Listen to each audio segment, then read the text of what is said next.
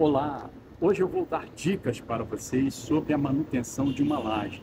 Quando você cuida de uma laje, você tem que ter vários cuidados.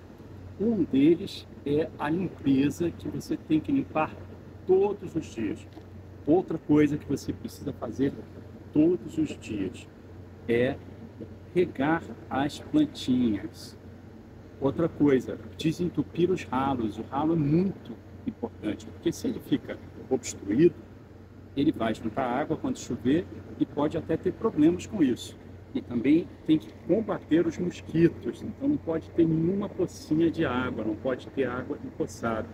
Você nota que nenhuma das plantinhas da gente tem prato embaixo, não é? Por quê? Para evitar um empoçamento de água, para evitar a água parada, empoçada que dá o mosquito. Não é isso?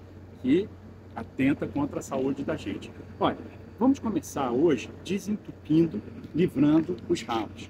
Então aqui a gente tem um ralo que com o passar do tempo a poeira vai para o ralo e aqui embaixo, olha, se a câmera vier aqui mais para baixo, vai dar para mostrar que fica um acúmulo de terra. Então esse acúmulozinho de terra você tem que tirar sempre para não entupir os ralos, ok? A gente tem que varrer tem que varrer sempre, né? Que a gente vai fazer agora. E também regar as plantinhas que precisam de água diárias. Então são cuidados para o seu jardim ficar sempre bacana. E uma coisa que eu recomendo é o auxílio desses ajudantes aqui.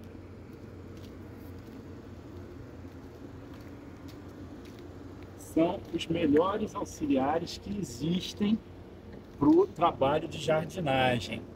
E outra coisa, basta o miadinho do gato que os ratos fogem. Então, para você combater as pragas urbanas, nada melhor do que ter um gatinho, ainda mais um gatinho jardineiro lindo como esse. Então, fica a dica, pessoal. Vamos agora varrer toda essa área, vamos regar todas as plantinhas e cuidar do nosso jardim para ficar cada vez mais bonito e também mais uma vez convidando vocês a ajudar no projeto Biofortificando Vidas, sendo um voluntário. Você pode solicitar a muda do alimento biofortificado para ajudar a propagar os alimentos biofortificados, fazendo doação para as populações que necessitam. Abração para quem é de abraço, beijo para quem é de beijo.